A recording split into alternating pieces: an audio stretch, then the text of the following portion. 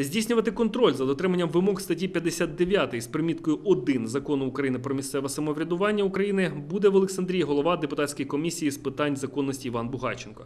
Відповідний проект планується ухвалити на черговій сесії міськради. А сам проект пропонує розглянути секретар міської ради Геннадій Лоцман.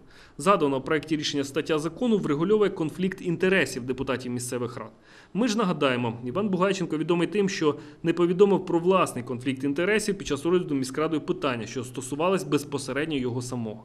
Відповідні матеріали щодо притягнення депутата до адміністративної відповідальності за вчинення корупційного правопорушення вже більше місяця розглядаються різноманітними інстанціями. Проте поки що остаточні відповіді з прокуратури міста Олександрії, куди вони як до останньої інстанції були направлені, так і не надійшло. Олександрійський мер особисто на сесії міськради повідомив, жодної заяви від депутата щодо конфлікту інтересів не отримав. Іван Бугайченко взагалі один з одіозних депутатів міськради, який неодноразово з антидержавницькими закликами та був одним з учасників ухвалення рішення міської ради на підтримку дій екс-президента України Віктора Януковича.